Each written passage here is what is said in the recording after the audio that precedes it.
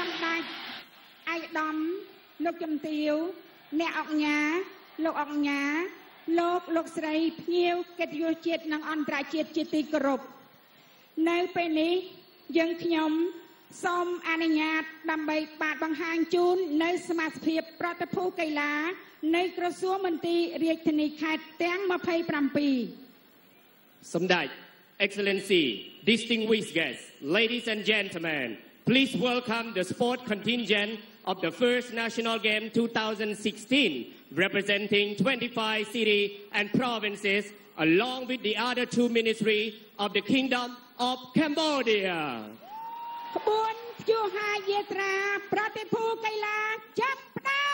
ម And now the parade begin.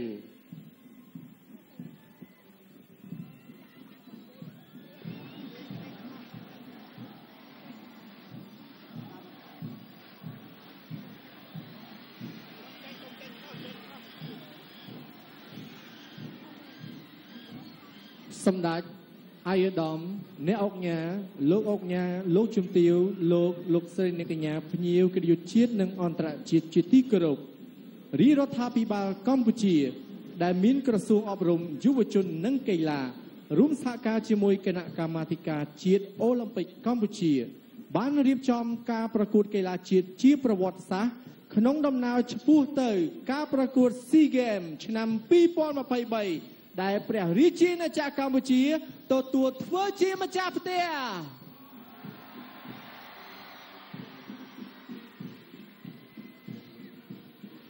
សម្ដេចឯកឧត្តមលោកជំទាវអ្នកអង្គញាលោកអង្គញាលោកលោកស្រីភ្ញៀវកិត្តិយសជាតិនិងអន្តរជាតិជាទីគោរពនៅពេលនេះក្បួនព្យុហយាត្រាប្រតិភូកីឡាករកីឡាក្រនី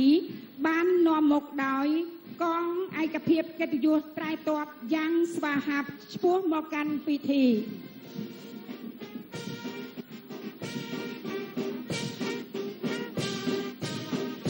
អបអរសាទរ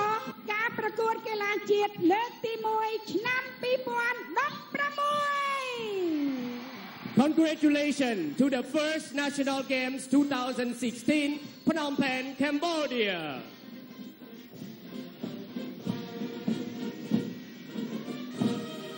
បន្ទាប់ពីកងឯកភាពកិត្តិយសស្រែតបគឺជាផែនតុងជាតិនៃព្រះរាជាណាចក្រកម្ពុជា ដែលមានបាវចនាជាតិសាសនាព្រះមហាក្សត្រ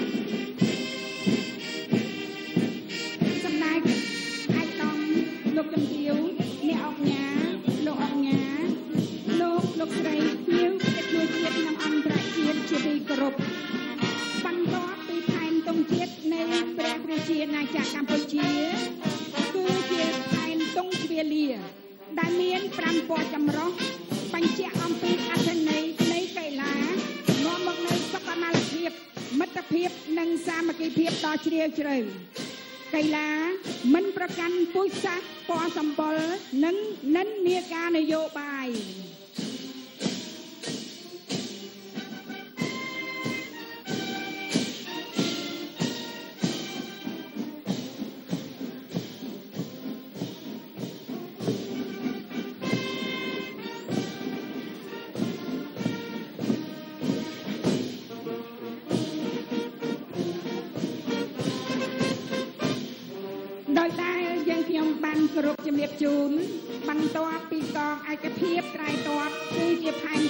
នតុងជាតិនៃព្រះរាជាណាចក្រកម្ពុជា ដែលមានបាវចនាជាតិសាសនាព្រះមហាក្សត្រ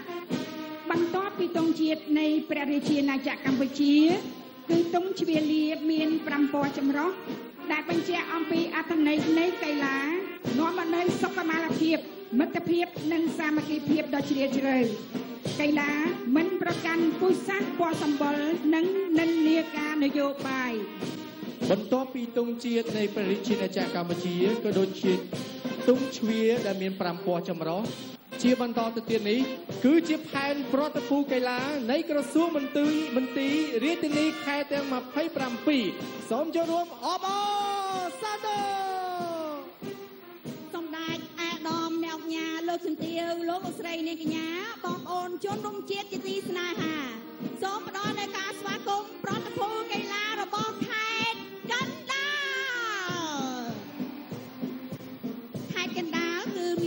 កីឡាចូលរួមចំនួន9ប្រភេទគឺមានបាល់ទាត់បរោះនារី បាល់ទះបរោះនារី បាល់បោះបរោះអត្តពលកម្មបរោះនារី បេតង់បរោះនារីវាយកូនបាល់បរោះនារីចម្បាប់បរោះនារីតេខ្វាន់ដូបរោះប្រដាល់បុរាណសកលបរោះមន្ត្រីដឹកនាំចូលរួមចំនួន22នាក់សរុបប្រតិភូកីឡាទាំងអស់គឺចំនួន155នាក់ស្វាគមន៍ជូនដល់ប្រតិភូកីឡាខេត្តកណ្ដាល ចាខេត្តកណ្ដាលគឺមានទីតាំងស្ថិតនៅប៉ែកអាគ្នេយ៍នៃប្រទេសមានក្រុងមួយគឺឈ្មោះក្រុងតាខ្មៅមាន11ស្រុក146ឃុំនិងមានចាទីតាំងមកភូមិសាស្ត្រអំណោយផលផងដែរជាបន្តទៅទៀតនេះសូមផ្ដល់ជាសម្លេងស្វាគមន៍សម្រាប់ប្រតិភូខេត្តកែបខេត្តកែបមានប្រភេទកីឡាចូលរួមបាល់ទាត់បរោះបាល់ទះបរោះអត្តពលកម្មបរោះនារី វីកូនបាល់មន្ត្រីដឹកនាំចូលរួមចំនួន13នាក់សរុបប្រតិភូកីឡាទាំងអស់61នាក់ខេត្តកែបមានក្រុងមួយគឺក្រុងកែបជាខេត្តតូចជាងគេនៅកម្ពុជា ដែលបានបំបែកចេញពីខេត្តកំពតស្របនឹងការសម្របសម្រួលព្រំសីមាខេត្តជាច្រើនខេត្តនេះស្ថិតនៅតាមឆ្នេរសមុទ្រភាគនិរតីនៃប្រទេសមានចម្ងាយ175គីឡូម៉ែត្រពីរាជធានីភ្នំពេញធ្វើដំណើរតាមផ្លូវជាតិលេខ3 ផ្លូវជាតិផ្លូវលេខ33 33A ក្រុងកែបធ្លាប់ជាទីក្រុងឆ្នេរសមុទ្រដ៏ពេញនិយមរបស់កម្ពុជា ជាឆ្នេរព្រៃកោងកាង និងគ្រួសខ្មៅខ្មៅដែលខុសពីក្រុងព្រះសីហនុមានឆ្នេរខ្សាច់ពណ៌សក្បុសក្រុងកែបសម្បូរដោយគ្រឿងសមុទ្រថោថោៗតែឆ្ងាញ់ជាពិសេសគឺក្តាម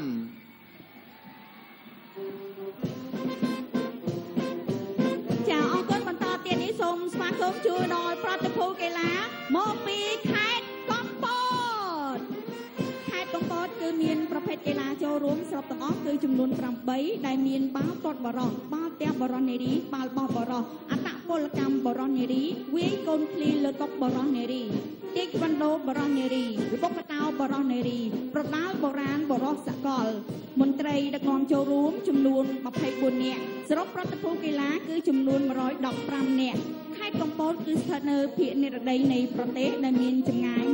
148គីឡូម៉ែត្រពីរាជធានីភ្នំពេញនិងធ្វើដំណើរតាមផ្លូវជាតិលេខ3ខេត្តកំពតគឺមានសក្តានុពលសេដ្ឋកិច្ចសំខាន់សំខាន់ៗគឺដូចជាកសិឧស្សាហកម្មនិងទេសចរកំពតគឺជាខេត្តមួយដែលអំណោយផលល្អពីធម្មជាតិ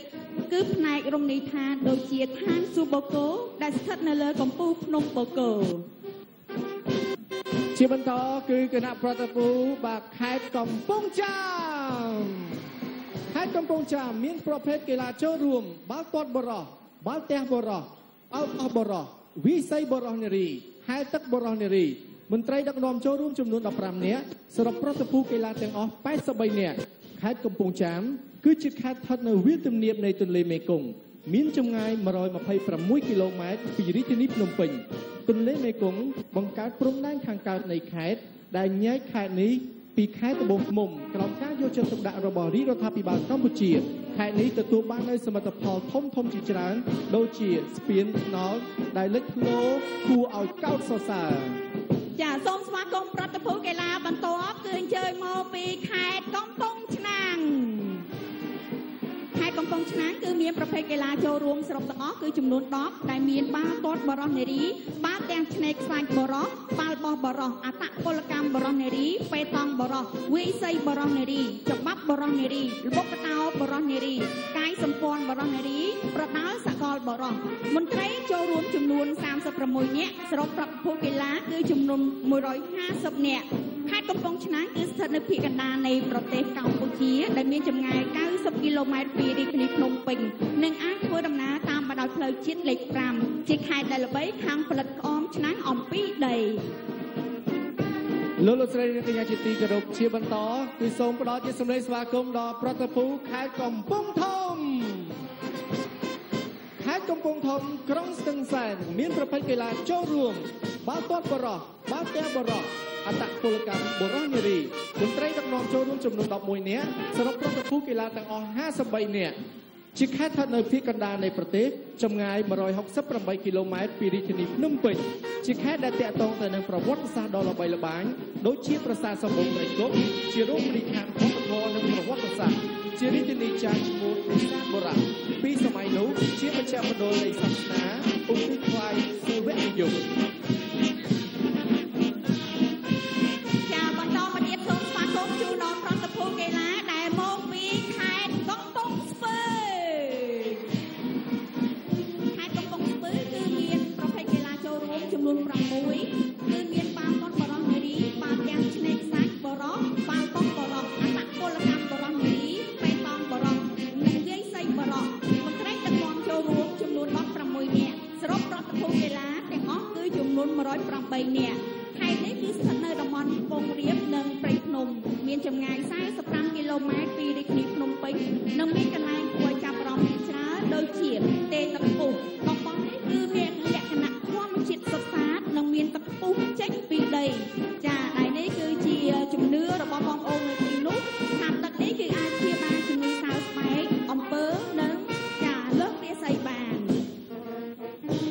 លោកលោកស្រីនាងកញ្ញាជាទីគោរពជាបន្តសូមសម្លេងស្វាគមន៍ប្រតិភូខេត្តកោះកុង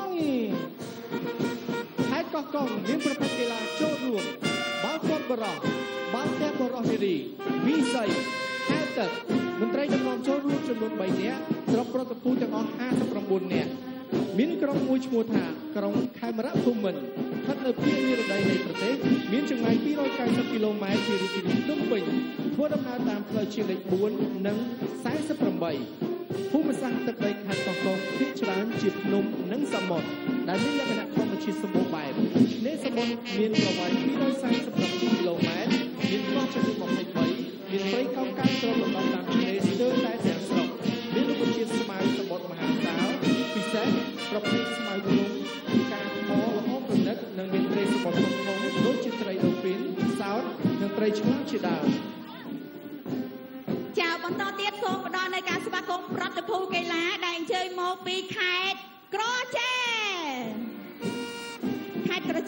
មានប្រភេទកីឡាចូលរួមចំនួន4មានបាល់ទាត់បរោះបាល់ទះបរោះវាយសីបរោះកាយសម្ព័ន្ធបរោះនារីមន្ត្រីដឹកនាំចូលរួមចំនួន14នាក់សរុបប្រតិភូកីឡាទាំងអស់គឺ64នាក់ខេត្តក្រចេះគឺជាខេត្តតូចមួយដែលគួរឲ្យចាប់អារម្មណ៍ស្ថិតនៅភាគឦសាននៃប្រទេសដែលមានចម្ងាយ340គីឡូម៉ែត្រពីភ្នំពេញខេត្តនេះគឺពិតជាសម្បូរទៅដោយធនធានធម្មជាតិនៅលើដីនិងជីវជាតិចាដែលមានព្រៃព្រឹ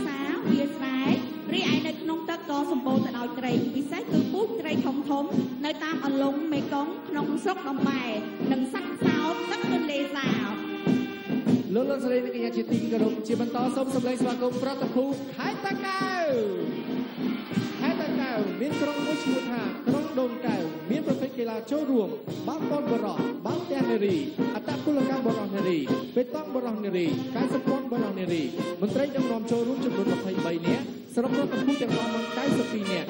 ខេត្តតាកែវស្ថិតនៅភាគនិរតីនៃប្រទេសមានចម្ងាយ77គីឡូម៉ែត្រពីរាជធានីភ្នំពេញ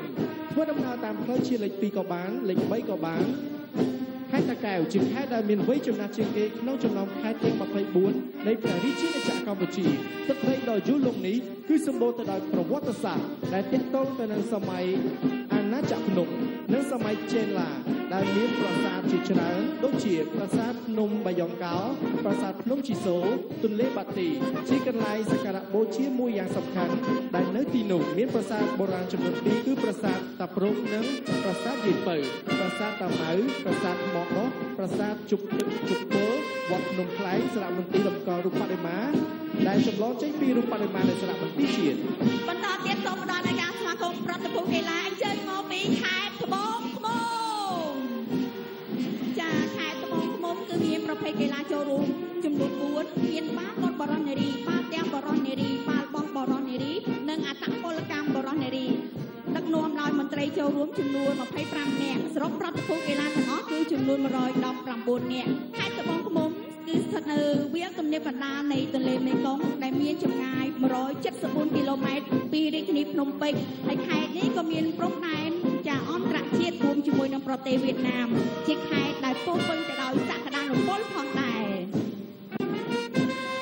ចជាបន្តទៅទៀតនេះសូមសម្លេងស្វាគមន៍ជូនដល់ប្រតិភូខេត្តបៃលិនខេត្តបៃលិនក្រុងបៃលិនទឹកដីត្បូងពេជ្រ បាននាំនៅប្រភេទកីឡាចូលរួមបាល់ទាត់បរោះនារីបាល់ទះបរោះអត្តពលកម្មបរោះនារីមន្ត្រីដឹកនាំចូលរួមចំនួន24នាក់សរុបប្រតិភូកីឡាទាំងអស់80នាក់ខេត្តបៃលិនស្ថិតនៅជ្រុងខាងកើតនៃជួរភ្នំក្រវាញ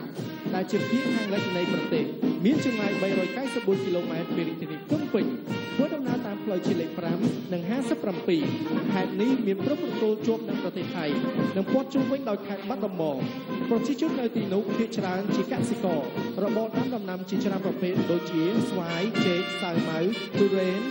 កង្កែនពោតដំឡូងដំណាំដែលបានផលល្អហើយនាំចេញក្រៅគឺដំណាំពោត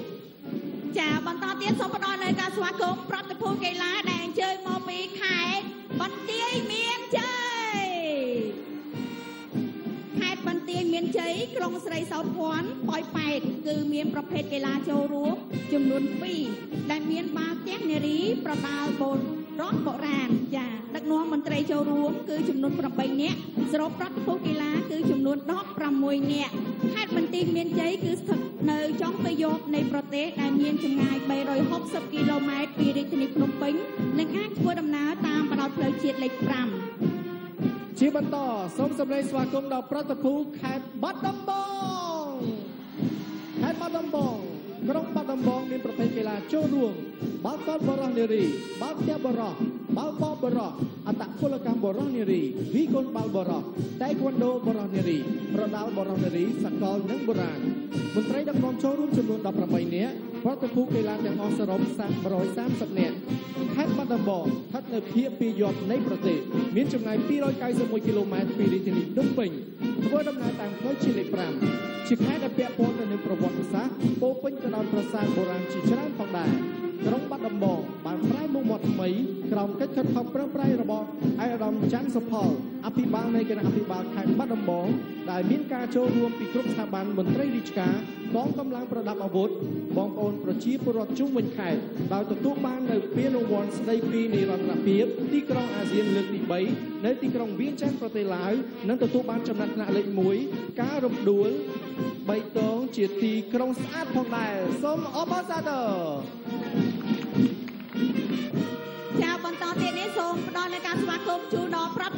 ឡាដែលអញ្ជើញមកពីខេត្តពោធិ៍សាត់ខេត្តពោធិ៍សាត់ក្រុងពោធិ៍សាត់មានប្រភេទកីឡាចូលរួមចំនួន4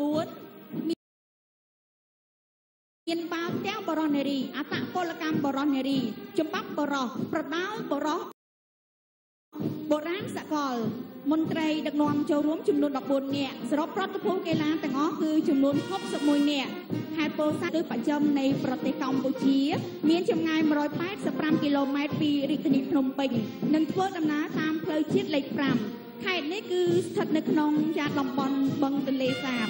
ខេត្តចាពោធិ៍សាត់គឺមានបូជនីយដ្ឋានប្រវត្តិសាស្ត្រមួយដ៏ល្បីគឺបូជនីយដ្ឋានអ្នកតាឃ្លាំងមឿងជាកន្លែងគោរពបូជា និងជាទីសក្ការៈរបស់ប្រជាពលរដ្ឋគ្រប់ទិសទីតំបន់ជាបន្តសូមសម្លេងស្វាគមន៍ដល់ប្រតិភូមកពីខេត្តព្រះវិហារខេត្តព្រះ វិហារក្រុងព្រះវិហារមានប្រភេទកីឡាចូលរួមបាល់ទាត់បរោះនារីបាល់ទះបរោះនារីអត្តពលកម្មបរោះនារីមន្ត្រីដឹកនាំចូលរួមចំនួន19នាក់សរុបប្រតិភូកីឡាទាំងអស់91នាក់ខេត្តព្រះវិហារស្ថិតនៅភាគខាងជើងនៃប្រទេសជាខ្ពង់រាបសម្បូរទៅដោយព្រៃឈើភ្នំនិងស្ទឹងដងអូមានព្រំប្រទល់ជាប់នឹងប្រទេសថៃនិងឡាវ មានចម្ងាយ300គីឡូម៉ែត្រពីរាជធានីភ្នំពេញធ្វើដំណើរតាមផ្លូវជាតិលេខ6និងលេខ60 62ប្រាសាទព្រះវិហារស្ថិតនៅលើភ្នំព្រះវិហារមានកម្មានកម្ពស់625ម៉ែត្រនៅលើជួរភ្នំដងរែកជាបេតិកភណ្ឌពិភពលោកដ៏ល្បីល្បាញមានទីតាំងនៅភូមិស្វាយជ្រុំឃុំកន្ទួតស្រុក ជាំសានខេត្តនេះមានរមណីយដ្ឋានធម្មជាតិនិងប្រវត្តិសាស្ត្រជាច្រើនកន្លែងនិងសមិទ្ធផលថ្មីមួយទៀតគឺរោងចក្រស្ករសដែលជារោងចក្រធំជាងគេនៅប៉ែកអាស៊ីអាគ្នេយ៍ប្រតិភូកីឡាបន្តទៀតសូមស្វាគមន៍ប្រតិភូមកពីខេត្តព្រៃវែងខេត្តព្រៃវែងគឺ មានមានប្រភេទកីឡាចូលរួមចំនួន6គឺមានបាល់ទាត់បរោះបាល់ទះបរោះអត្តពលកម្មបរោះប៉េតង់បរោះចំបាប់បរោះនារីនិងប្រដាល់បរោះបុរាណសកលមន្ត្រីដឹកនាំចូលរួមចំនួន25នាក់សរុបប្រតិភូទាំងអស់គឺចំនួន92នាក់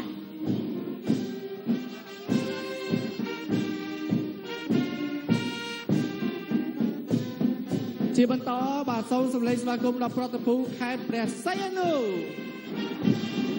ក្រុមព្រះសីហនុមានប្រភេទកីឡាចូលរួមបាល់ទាត់បរោះបាល់ទះបរោះបាល់ទះឆ្នេរខ្សាច់វាយកូនឃ្លីលើតុបរោះនារីតៃខុនដូបរោះនារីប្រដាល់បុរាណបរោះមន្ត្រីដឹកនាំចូលរួម11នាក់សរុបប្រតិភូកីឡាទាំងអស់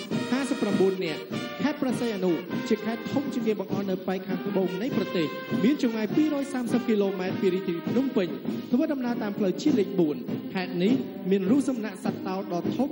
តំណាងឲ្យអំណាចព្រះមហាក្សត្រនិងជាតំណាងក្រុងព្រះសីហនុបន្ត ទៀតសូមផ្ដល់នូវការស្វាគមន៍ប្រតិភូកីឡាអញ្ជើញមកពីខេត្តមណ្ឌលគិរីខេត្ត មណ្ឌលគិរីក្រុងសែនមនោរម្យគឺមានប្រភេទកីឡាចូលរួមសរុបទាំងអស់ចំនួន8គឺមានបាល់ទាត់បរោះបាល់ទះនារីបាល់បោះបរោះអត្តពលកម្មបរោះនារីវាយសីនារីវាយកូនបាល់នារីវាយកូនឃ្លីលើតុនារីប្រដាល់បរោះបុរាណសកលមន្ត្រីដឹកនាំចូលរួមចំនួន11នាក់សរុបប្រតិភូកីឡាទាំងអស់គឺចំនួន77នាក់ ខេត្តមណ្ឌលគិរីគឺស្ថិតនៅពាកខាងកើតនៃប្រទេសកម្ពុជាដែលមានចម្ងាយ382គីឡូម៉ែត្រពីរាជធានីភ្នំពេញ